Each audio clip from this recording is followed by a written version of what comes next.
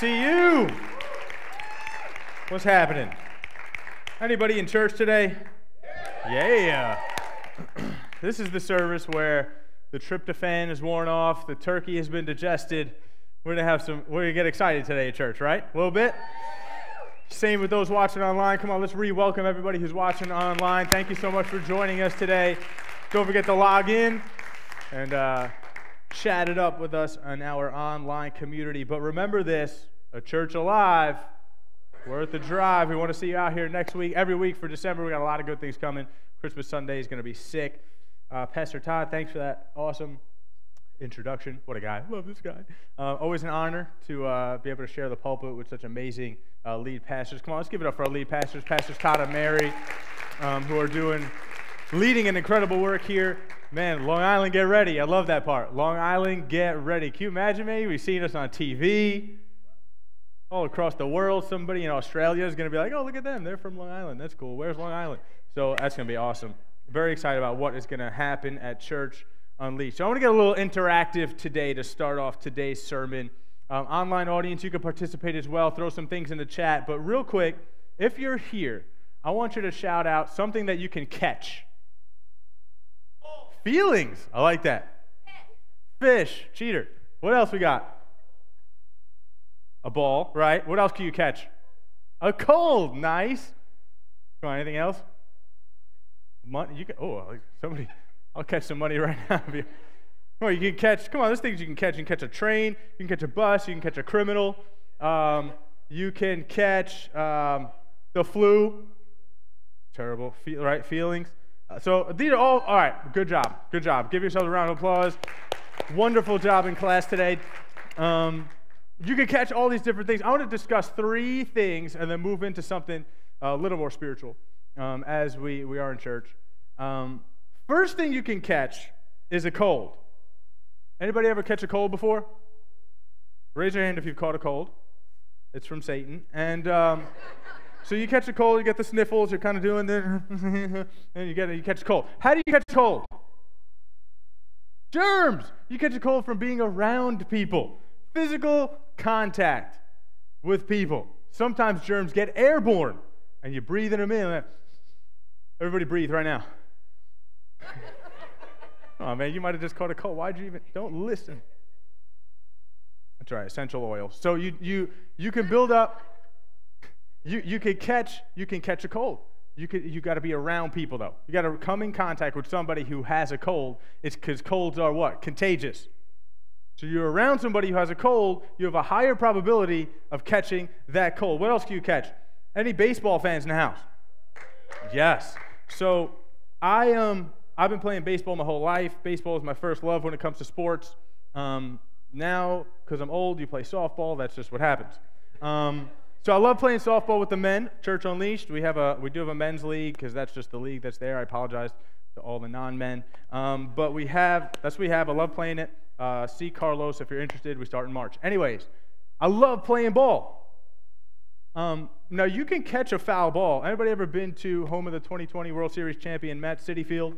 So if you go to Citi Field and you buy a ticket, you could sit in the in the stands and you can catch a foul ball. But the the chances of you catching a foul ball at that one game you go to every like three years, probably not that high, right? Now, how do you catch more baseballs or softballs? You you get involved, man. You get a jersey on, you play for the team. Now, not everybody, you can't just walk on to the Mets or the Yankees or one of these teams. But when you're in the game, you're going to catch more baseball. So when you get the jersey on, when you get into it, there's a much better chance, a much higher probability of you catching the baseball. You're going to field it. Third thing, this is something I know a lot about fishing. So I've never been fishing. Like this, right? Um, I've never been fishing. I don't know anything about fishing, okay? So if you take me out there, we're to die. But fishing, one thing I do know is you got to be in the right position to fish. What do I mean by that? You can fish all day, all night, all week, all year in, an, in a place where there are no fish, and you're not to catch any fish.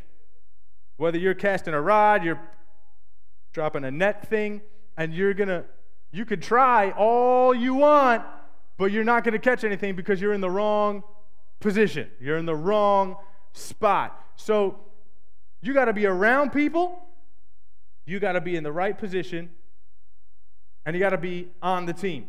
Now, before we get going anymore, since you've been a great class today, turn to the person next to you and tell them the title of today's message. It's called Flock University. Go ahead. Say Flock University. Now turn to the person on the other side of you and say, Man, I'm just glad he didn't call it Flock U.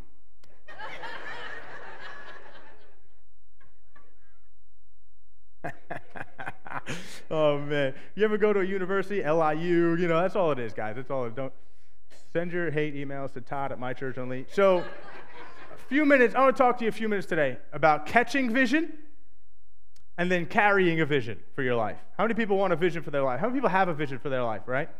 How many people have God's vision for your life? What we want to do today is we want to catch God's vision for our lives and we want to run with that. We don't want to just catch it and then drop it. We don't want to just catch it and give it to somebody else. We want to catch it. We want to run with it. We want to carry that vision unto completion. That's what we want to do. So I could talk today from the Bible about a guy named Paul, formerly known as Saul. And uh, because I find it very interesting how he was someone who God took away his eyesight in order to give him a fresh vision. It's interesting. Could talk about Paul. I could talk about Jesus himself because he's like the, the OG, you know, vision guy, right? He came to earth and he set the he set the pace. He was the he was the pace car for vision. So he set the tone. He clearly had a clear vision. He carried that all the way to salvation, man, all the way to the cross, all the way to uh, the tomb, all the way through the tomb, all the way back up to heaven. Right? He he carried it through. He's the best that there is. But I want to focus on the group of people that were around Jesus the most. The group that, that caught the vision from Jesus himself and then carried it to the rest of the world. I will talk about the disciples 12 disciples. So, how did they catch Jesus' vision? They were around him. They caught the Jesus germs.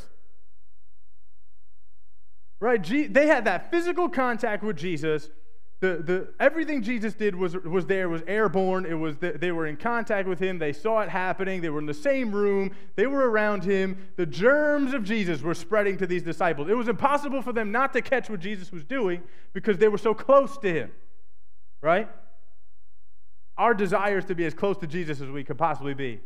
Because the closer we are to Jesus, the more we're going to catch from him. They also, though, they got in the game. They didn't just buy a ticket to the Jesus game and sit in the stands and, oh, man, got my glove today, though. I'm prepared. I hope that a ball comes my way because I'm ready to catch it. What they did is they put in the jersey, they got in ready position, and they were ready to field whatever came their way. And they caught a lot more baseballs because they put the jersey on and got in the game.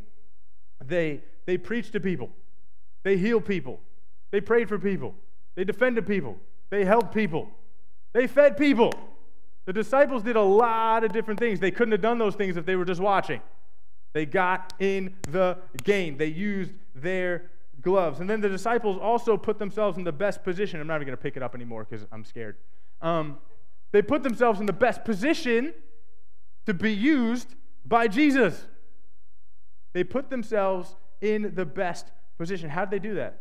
And they studied, they practiced, they listened to him, they watched what he was doing. They failed sometimes. They learned from that. They tried again. And they went without knowing all the answers. How many people love that part about everything about life? Sometimes you know there's something you need to start. Oh, I'm talking to somebody today.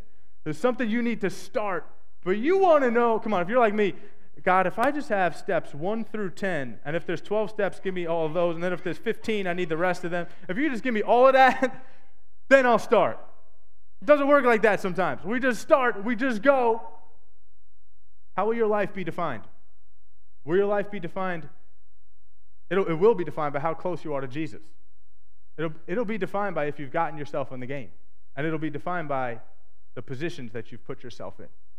I'm a big proponent of the power of your position in life. You could position yourself for the blessings that God has for you, or you could position yourself right out of the way of all of them. But it's all about our position. The disciples listened to Jesus' voice. I hear the voice, right? Last week we heard an awesome sermon from Pastor Taco. I hear the sound, I hear the voice. When you hear the voice, you catch the vision. The disciples were close enough to Jesus and frequently, every single day, to where they heard his voice and they caught his vision. Last week here, we heard the voice. We were praying for people during the messages, powerful, during worship, eh, powerful, like it is every week here. But we heard the voice. Now, this week, we catch the vision. So, how, how do we? So, now, anybody a human being? Just raise your online, please. If you're, just type it in there. If you're a human being, we see things, right? Hopefully, thankfully, if you have, you know, some. But we see things. How do we see? According to WebMD, it's all about light. So if light reflects off an object that's in our field of vision, it enters our eyes. I happen to believe that we let too many things enter our eyes that shouldn't even be in our field of vision. We need to guard the things that are in our field of vision, right? There's, sometimes we just allow certain things, and I'm not even just talking about stuff that you watch on TV. I'm not talking about I'm talking about sometimes the, the people that you watch and that you try to emulate. I'm talking about the, the, the, uh, the conversations that you have that you're watching. I'm not gossiping, I'm just listening. You know, gossiping works. Side note. One person has to talk and the other one has. So, anyways, but we let now, here's why it's important because what we learn from how we see is that whatever's in that field of vision, as soon as there's a reflection on it, it enters. I thought that was interesting. It enters into our eyes. The eyes are like the gateway to in, into our body. So it's very important. It, it's, it's, like, it's like anything else. How do, you, how do you abstain from something you need to abstain from? Don't even tempt yourself to begin with. Don't, don't walk into the, the bar if you can't not drink right? Don't, don't be around people who are doing drugs if you've had addiction. Don't, don't go back to the, the person who just ripped your heart out and left you at the altar because you feel like there's nobody else. So, in other words, the things that how, how, do we how do we make sure the stuff doesn't get into our into our eyes, enter through into our bodies through our eyes? Don't have it in your field of vision. If it's not in God's word, it's not for me. In fact, I feel like we need to shine so brightly that we expand other people's field of vision. And we reflect Jesus so, so greatly, so brightly, so, so intently that other people can't help but see Jesus now in their field of vision. That's our goal, right? That's what we want to do. So I want to propose to you today. I'm just kidding. I want to propose to you today that our eyes play a huge part in our lives right? They, are the window, they're the gateway. It all begins with our eyes. So, what we see determines so much. What we see determines our focus. What we see determines our goals. What we see determines our decisions. What we see determines our spending habits, how we spend our time. What we see determines our friends.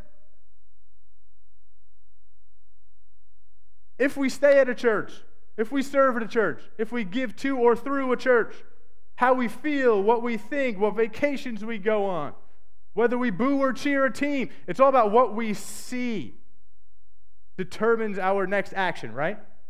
For instance, if you're online and you're looking up vacations and you see a place, especially right now for us, where everybody is just bundled up and it's a rinky dink location and you got to sleep outside sometimes because the heat doesn't work, or then you go to the next website and you see um, you know, like Bermuda or Aruba or somewhere, and you have these nice beaches and the water's calm, and someone's eating dinner with no shoes on in the sand, and you're just like, Lord, I'm seeing it right here. Send it. Send me what I'm seeing. I will be a missionary to Aruba. You know, like one of those types of things. But you saw it, and then it entered in. All of a sudden, you're like, all right, you know what? Actually, how can I save enough money to get there? How long is it going to take me? What, what are my action steps? What, what do I do to. So, all that being said, human beings tend to believe what we see, we gravitate toward what we see, we engage and react with what we see. So, if what we see, if our vision is that important, if it determines all that, then I better be getting behind the right vision. I better know the perfect vision for my life, but not just for my life, for my church. God's vision, what Jesus has put in front. That's why studying the disciples is so cool because they were around the vision. They were around the guy, the one who came to literally change us, right? And, and, and to change humanity and change the world. His, his goal is to change the world. Our goal is to change Long Island. But we can learn a lot from this uh, portion or these portions of Scripture because what we see determines where we wind up. When you see Aruba and you set goals to get there, you will wind up in Aruba. If you see, I'll never be able to go on vacation ever again. If you see, man, I'll never be able to get that degree. If you see, man, I'll always be overweight, never fit into what's in my closet. If you see all those different things, right? Man, I'll never be a good enough husband. I'll never be a good enough dad. I'll never be a good enough mom. I'll never be a good enough wife. I'll never be a good enough girlfriend. No one's ever going to date me. I'm never going to graduate from high school. If that's what you see, that's where you're going to wind up. Because what we see, what's in our field of vision, enters and becomes part of who we are. So let's, let, let, let's make a deal. Can we, can we encourage each other to catch God's vision for our lives today? Can we do that? Here's what I know to catch the vision, you have to know the vision. Jesus had a clear vision to seek and save the lost. That was Jesus' vision to seek and save those who are lost. It was that simple. Sometimes we overcomplicate things. Any overcomplicators in here? I have a tendency to overcome. See, I, I, have, I have a tendency to, uh, to uh, like analysis, paralysis by analysis type of thing. You know, like instead of just, like I said, instead of just like, all right, I'm just going to go, I need to know, okay, if I go this way though, there's three possible outcomes. And then if I do this, there's a couple more out. But, oh man, I don't know which one's the best one. What's the best one? What should I do? I don't know. What should, maybe, you know what? I'll just do nothing. I'll wait for the next opportunity. You know, like, because I sometimes I would rather not try something and fail. I got to get it's one of those things I work through, right? You try to get over the. Let me try. Let's just try some, Just try some, Just try something. So I'm in the boat. I'm I'm there. I'm preaching to me at the same time. Sometimes we need to just go, but it sometimes we overcomplicate stuff. Jesus didn't overcomplicate anything. He literally had one mission. Now, not everybody liked that mission. Some people wish he would have stopped and had 13 dinners with him and then hung out for three weeks and then did all this stuff. But he said, nah, I have to go, and there's more people over here that need me, and more people over here that need me, and more people over here that need to be saved, there's more people over here that are going to hell if I don't come. And so he knew what his mission was, and it was that simple. See, the vision's got to be easy to understand so we can follow it. Got to be simple. That's what Jesus modeled for us. But here's the thing just because a vision is easy to, to understand and read and, and, and, and follow doesn't necessarily mean the journey is going to be easy. Anybody ever been alive? Just by a show of hands, are those watching? Um, if you've been alive for any part of uh, you know portion of time, um, you know that challenges arise. Just raise your hand if you've never had a problem. Okay, okay. So we're all, we're all on the same team. We're all on the same boat. We're all, we all have the same jersey on. Life is hard, right? Why should we make what we're striving for that much harder? It should be clear and it should be simple.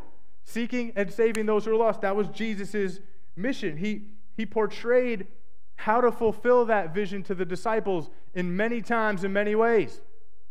Many times, many ways. Come on, somebody was thinking that. Who was thinking that? Merry Christmas. All right.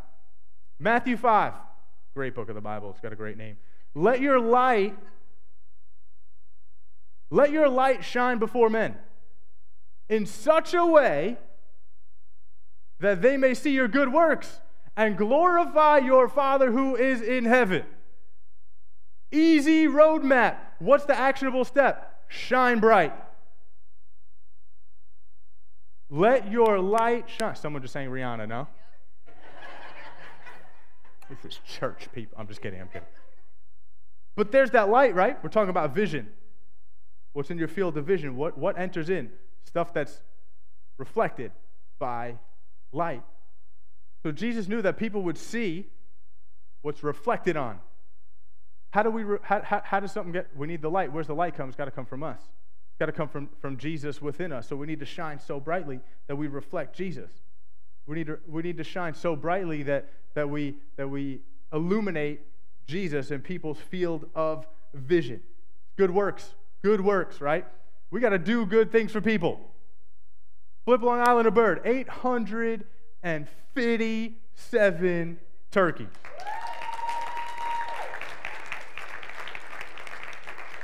Eight fifty-seven. That's us doing good works. That's us shining brightly for people to see. Almost a thousand turkeys.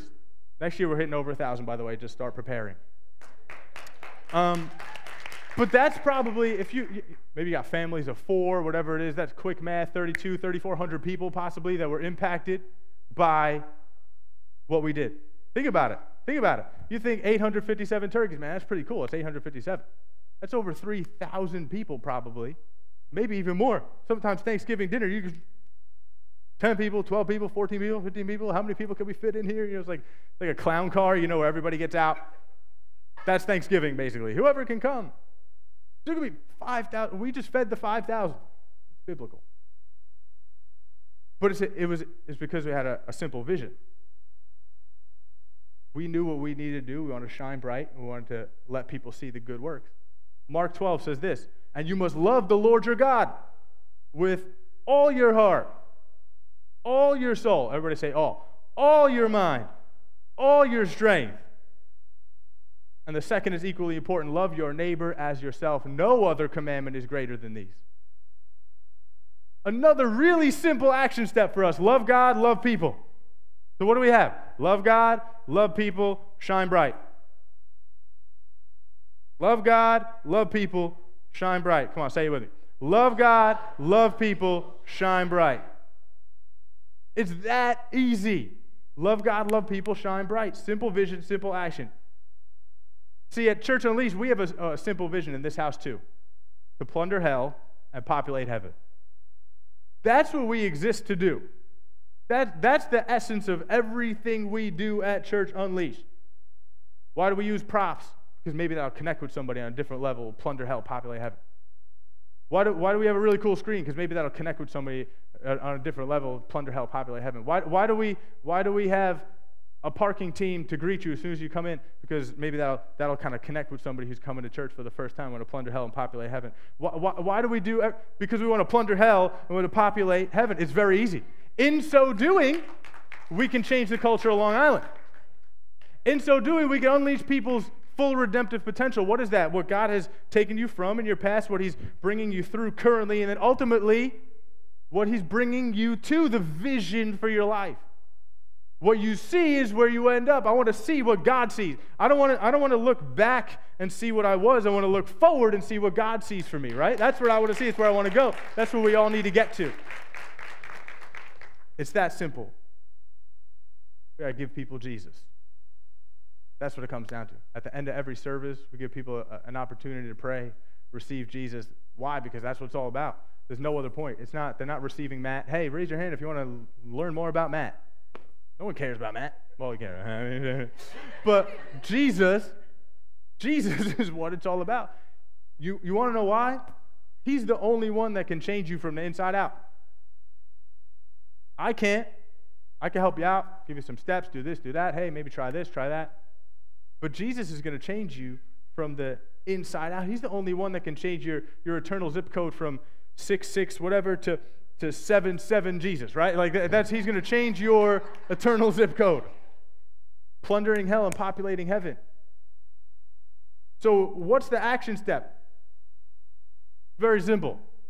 Right here, right now, Sundays. This is what we do bring people to church. Simple action step bring people to church. We put all our energy and effort into Sundays. Why? Because it's our biggest opportunity to influence the most people for Jesus, to plunder the most people from hell and to populate the most people in heaven. That is what we want to do at Church Unleashed. So if you're watching online and you can get here and you can bring someone with you, come here next Sunday. In fact, this is going to be crazy. Stop your recording and get here for the 12:15. So Now, if you're here at Church Unleashed and you're in the game, you got a jersey on, you know, you, you got one of the shirts on, you got a headset, you're doing something, you're outside, you got, you're doing, you're in the game. You're paving the way for people to come to know Jesus. You are helping to accomplish the vision. You have the jersey on. You're moving us forward. Come on, let's give it up for the people who move us forward at Church Unleashed. Thank you guys for doing what you're doing. whether you're serving today or maybe finally getting an off day. But that's what we do. We plunder hell, populate heaven. The other thing that I know is that you don't have to be the vision creator to be a vision carrier. You don't have to be the vision creator to be a vision carrier. The disciples clearly were not the vision creators. They didn't come up with everything, right? They, they, didn't, they didn't come up with the whole deal like, you know, God, let's have a consultation. I think the way you sent Jesus was incorrect. I think we need to go about doing it this way. They didn't create anything, but they learned how to carry it. So, as far as we're concerned at Church Unleashed, we're not the vision creators. And all type, type A people in the room are like, ah, man, I like to create my own vision and go. At Church Unleashed, God gave that mantle to pastors Todd and Mary. That's what he did. He gave them a vision on how to reach Long Island. That's, can I just be honest? Can I give you some insider information? That's a big responsibility. That's a big deal. Imagine being the two people that God said, hey, man, I want you to plant this church. I want you to do this, and you need this kind of people, and you're going to go about it this way, and you do this, and there's thousands of people that are going to be watching you, and you're going to influence all these kind of. That's a big deal. So they're the vision creators for the church. I mean, obviously, ultimately, God is, but through them. But here's where we come in we get to be the vision carriers because we don't have to be vision creators to be vision carriers. So, we're going to go into how we do that a little bit, but being a vision carrier is an honor. It's a cool. Do you think the disciples felt honored that they were Jesus' vision carrier? It's a cool thing to be able to take something and run with it and see it come to fruition, right? I mean, the pastors and the staff here at Church Unleashed, we're all in vision carriers. We're all about what God is doing here at Church Unleashed, what He's doing all over the place, what people who are watching all over the world right now. You know, people are watching all over the world right now. Hundreds, which is cool. So thank you for joining in. But we're all in on that. So, like the disciples, we're willing to do whatever it takes to make this happen. But in order to carry a vision, you have to be commissioned. And then once you're commissioned, you have to, C word, commit. A couple people squirming right now, a little bit. Long Islanders love committing. So here's the deal. We got busy. We got busy, right? We got busy. Life is busy. I now have a 10 week old son at home who's amazing and, and chunky. He's, um, he's currently eating steak and uh, potatoes. He weighs 33 pounds. I'm just kidding. I'm just kidding. Love you. Um, so life gets busy, right? I get that. You have no sleep. Life is this, blah, blah, blah, blah. I get all those t- kinds of things. But once you're commissioned by Jesus to do things, the disciples, they had a choice. They could say, you know what, man, God has commissioned me to do this. All I have to do is commit. I got to make one decision going all in or I'm going all out. We have a decision. And that decision becomes our vision. That vision becomes action steps. That vision becomes where we wind up in life. So check this out. Matthew 28, this is the Great Commission in the Bible, says, Therefore go and make disciples of all the nations. Notice there, real quick in the first line, it doesn't give you exactly where you're going, it doesn't give you um, the, the town, the zip code, it doesn't give you how, it doesn't give you the name of the people you're going to speak to, it doesn't give you the, the way you're going to do it, the words you're going to say when you get there. All it says is go and make disciples of all the nations. So, what's our nation? Our nation is Long Island. That's our nation. That's who we want to reach. We want to change the culture. Baptizing them in the name of the Father, Son, and the Holy Spirit. Do we do that at Church Unleashed? We do, right? How many people have been baptized at Church Unleashed? Woo! Come on, let's give it up for those who've been baptized at Church Unleashed. For those who haven't, who are yet to be baptized, sign up for our next one.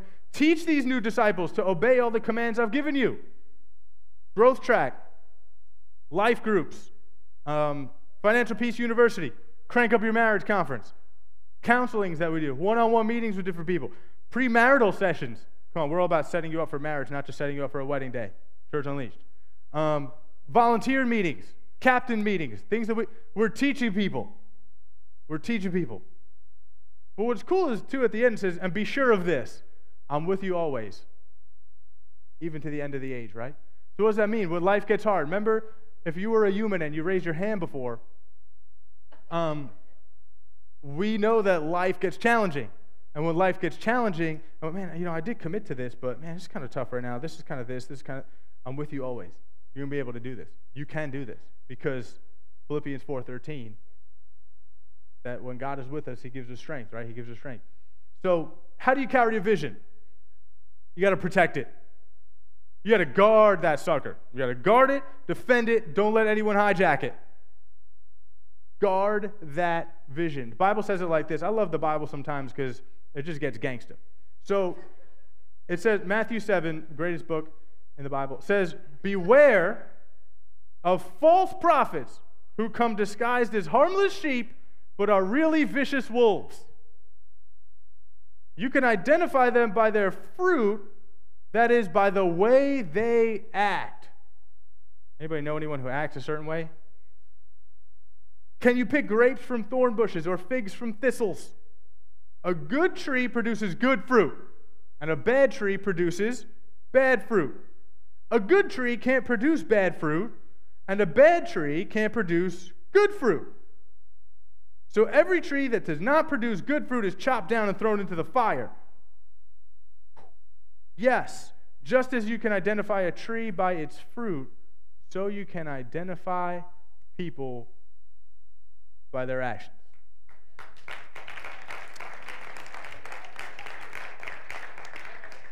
I didn't say it. I'm just saying, it's in there. Follow the fruit. Follow the fruit. Come on, say it. Follow the fruit. I think there's good fruit here at Church Unleashed. I'm looking out at a sea of a lot of really good fruit. You guys are good fruit. You're good people are doing good things. That means we're a good tree. 857 turkeys. That's good fruit. Don't let anyone come in here and tell you how they could do it better. Come on, don't let anybody come in here and, and, and man, tell, tell you how we should be doing everything that we're doing. Yeah, we take suggestions, we do all that, whatever, from certain people. But no matter how close people are to you, don't let them come in and hijack your vision. Don't let them come in and hijack the vision of the church. This is ours now. This is ours to guard. It'll go as far as we all decide that we want to take it. Can I make this personal for you for a second? Think about this. Just because someone has a label in your life doesn't make them an expert in every area of it. You know what we call that? Control. People love to control people. You should be doing this. You should be doing this this way. You shouldn't be doing this. You should be doing that. You should be controlling. And it could be anybody. It could be a friend, family worker, boss, coworker. Did I say family worker? It could be a friend, family, coworker, boss. What's anyways? Um, staff. It could be. It could be even a spouse, right? So take for instance, uh, Gina and me, right? My wife. For those who don't know me, we, um, we're married, and I believe what the Bible says that when you get married and God ordains it, two become one, right? So no one could be any closer than we are with each other. I know her better than anybody knows her. She knows me better than anybody knows me. And we have our each other's best intentions at heart. That's just how this thing works. That's how marriage works. So any anything that that I want to do, she supports, and vice versa, all that whole kind of thing. Now we're not we're not two lives that are just kind of living under the same roof. We're one life I always say it's, it's our life. It's not our lives. It's our life because we're now one. But anyways, we have we're so moral story. You can't get closer than we're than we are. But that doesn't mean that I become an expert in every area of her life. Does that make sense? So that doesn't mean that in, in her, you know, all these every single little moment I have to be there to tell her how to do everything. So I'm not looking to control her, I'm looking to protect her. In the same way with the bride of Christ, right? The church. We're not here to control the church, we're here to protect the church. We're here to protect the vision of the church. And that's what we do as, as carriers of vision of the church. Does that make sense? Secondly, you got to propel it. You protect it, you propel it. You got to move it forward, you got to advance it. We go back to Matthew 28. It says, Therefore, go. Therefore, go. The first word you see there is go. Therefore, it's technically a conjunction, so I'm just going to move that to the side. So the first word Remember, is Flock University. So you see the word go. It's two letters, big meaning, a lot of power. We need to go. We talked about this a bit. You might not get every single detail, but our job is to take the step. Our job is to take the step. We need to propel the vision. If we just take the vision, the disciples just took it and they sat on it. They dug a hole and they buried it. We know where the vision is. We're just going to leave it there, though. It's good vision. Our job is to propel the vision forward, to run with it, to go forward with it, not to go backward to the way things used to be. Figure out how church can be. Figure out how we can reach Long Island in a different way. That's our job to go, to go, to go, to propel the vision forward. We protect it, we propel it, and we perpetuate it. What does that mean? We got to keep it going. We can't let it die. We can't let the vision die. What do you do when you let your vision for your life die? You start to fizzle out. You have no reason to wake up in the morning. You get, you get tired real quick. You have no energy. You have no, you have no fight left in you. You give up quicker. Same thing is true with the church. We need people to keep this vision going. Because as we keep this thing going, you can clap for that. That's pretty good, pretty good deal. But how do we how do we do that? Matthew 28. We teach people. The more people that come in, remember this all works together, guys. The more people that come in, the more people get taught. The more pe- people that get taught, the more people they reach. And now we're all over Long Island, and we're, we're like I said, and we're figuring this, and we're reaching different people in different areas that I can never reach, that you can never reach. And now we're reaching people. Now all of a sudden, the vision, the vision is coming to, it's coming to pass because God placed this, God birthed this into the hearts of our pastors, who they have birthed it into our heart, and now God is breathing on it. Pastor Todd said it last week when I hear the sound, man, you could just feel that God is moving in this church on so many different levels. God is setting us up. We are here. We are in position for God to do a move in our lives. We're around people that want to see God do a move in their lives. We have people that are in the game paving the way for people to have God do a move in their lives. That's, that's the vision. This is the vision. This is, is, is the move. And the more people that are involved in that, the longer the vision will last. Right? The longer your fuse, the longer you will last, right? The more people that are here, the more spread that we have. And that brings us full circle. The more people who are plundered from hell who are catching the vision are the more people that are, are changing the culture of Long Island by reaching their full redemptive potential. That's the people that are carrying the vision. And then the more effective we'll be at fulfilling Jesus' mission of seeking and saving lost people, of plundering hell and populating heaven. See how closely tied those two things are? So as we get behind God's vision for our lives, God's vision for life in general, God's vision for our church, we will see God change Long Island. My question to you is Have you caught the vision yet? Have you caught the vision of Jesus yet? Is he, is he the center of who you are? Has he changed you from the inside out? If you can't answer that question, we'll address that in a minute. But if you can answer it to the, to the good, to the, yeah, I've caught Jesus' vision let me ask you this question Are you carrying it? Are you really, truly seeking people? if it happens. If it happens. We were at, uh, we were at Buffalo Wild Wings yesterday. Thank you. Someone gave us that gift card. Praise the Lord. Um, we were there. We were there, and our waitress made it a point to bring up Jesus in our little session. She used our son because we had him there, in a the little carrier. Oh, it's so cute. And how old is he? Oh, 10 weeks. Wow, he looks like 10 months. Um, but she said, at my church, went right into it, wasn't ashamed of nothing. At my church, man, we've been praying because there's been a, period of like barrenness where people were praying to have kids. They couldn't have kids. All of a sudden, we're having a baby boom in my church. There's people pregnant all over the place. And I was like, actually, it's kind of funny. We've had some of that happen in our church, man. There was one Sunday, a month, two months ago, whatever, where like three different people told us they were pregnant. And like we were going back and forth having this conversation. Oh, church, what church? Church, church, church, cool. But she was trying to, she was trying to bring up church. It was intentional. She was living out the vision. She was carrying it. She wasn't just saying, you know what, if they bring up church, I'm going to talk to them about it. I'm ready. The vision's here in the hole in the ground. I'm ready with it. See how it works? She made a point. So, again, my question is are you making it a point to carry the vision of Jesus? Are you making it a point to carry the vision of Church Unleashed? Because as we make that our point, this goes from, man, this church is great for me to this church is great because we are influencing so many people and changing the culture of Long Island. That's how we know that we are catching and not just catching, carrying the vision that God has for this house to Long Island.